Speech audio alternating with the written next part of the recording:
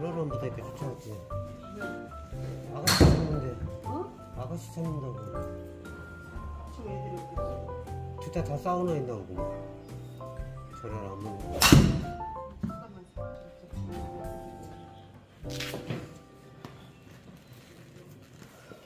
담배 냄새.